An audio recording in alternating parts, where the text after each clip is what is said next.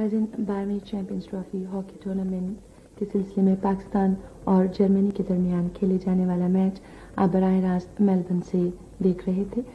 Radio Pakistan और Pakistan television की सफ़े अव्वल की न्यूज़ कास्टर तस्कीन ज़फ़र आज रावलपिंडी में मुख्तसर अदालत के बाद इंतकाल कर गई। उनकी उम्र सड़सठ साल थी।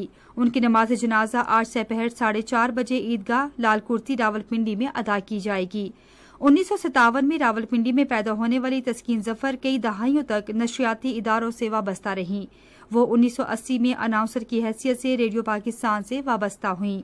तस्कीन ज़फ़र ने रेडियो पाकिस्तान के हालात हाजरा के चैनल पर प्रोग्रामों की मेजबानी भी की। वो पाकिस्तान टेलीविज़न से भी वाबस्ता रहीं, जहाँ उन्होंने मौसीकी के कई प्रोग्रामों की मेजबानी की और शोबाई ताल्लुकात आमा में एग्जीक्यूटिव ऑफिसर के तौर पर खिदमत सर अंजाम दी।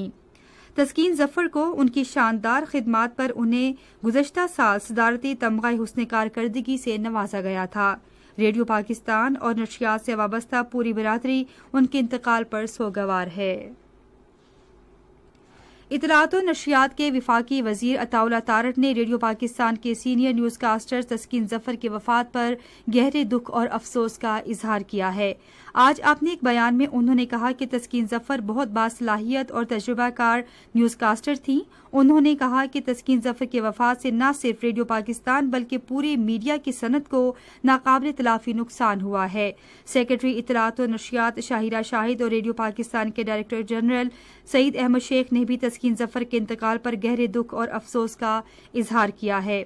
अपने एक ताजियती पैगाम में शाहिरा शाहिद ने कहा कि तस्किन ज़फ़र रेडियो पाकिस्तान का असासा थी और उनकी वफात से पैदा होने वाला खला कभी पुर नहीं हो सकेगा।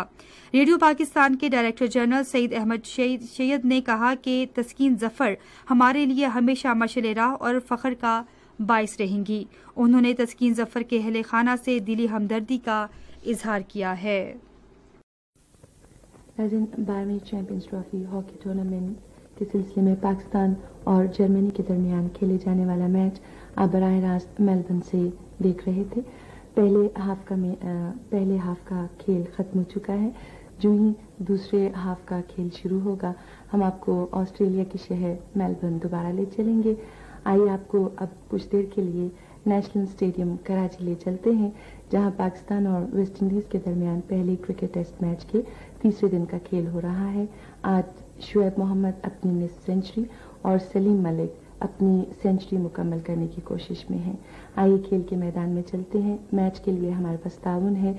विल्स फ़िल्टर सिगरेट्स बनाने वाले इदारे, पाकिस्तान टोबैको कंपनी लिमिटेड